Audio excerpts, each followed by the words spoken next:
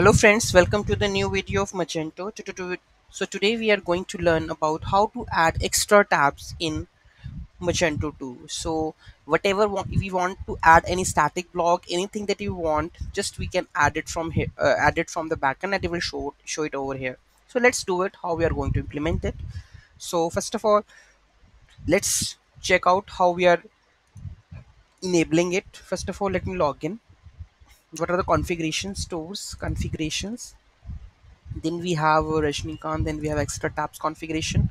Then you can see that we have a product description you want to enable or disable. Whatever titles you want to make you can also add I can make it description where can I also make it description also?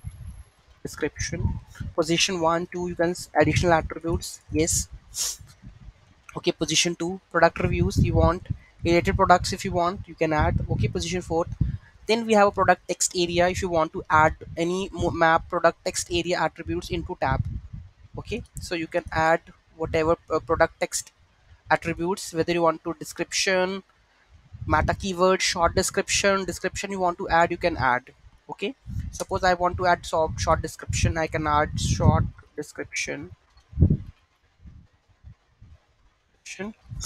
That's gonna be like sixth position okay and here I want to add the static blocks. So I'm going to uh, add the static block like uh, any of the contactors info footer links you can add.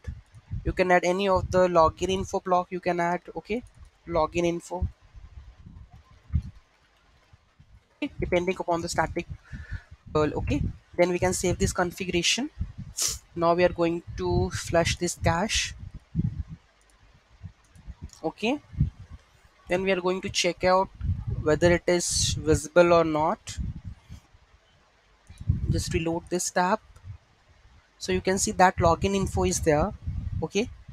And uh, additional information we have all reviews then we have a login info right? This is basically a blog that uh, they that is the blog that they have okay? So this is how we can see that the, the description part is changing. You can see that in the description we have changed this one okay and uh, this is product text area. So it should be short description meta keywords. So whatever if it is a short description then it will show else it will not show right? So this is how this is the full management of the tabs that you can add it from here. I have also implemented one more tab one more tab configuration that is from the crud operation okay? That where you can select the content or something over here.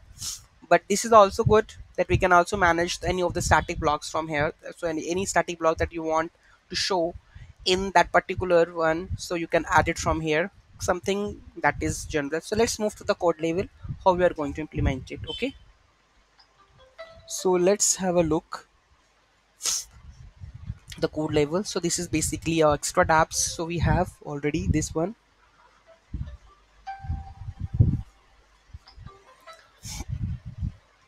Okay.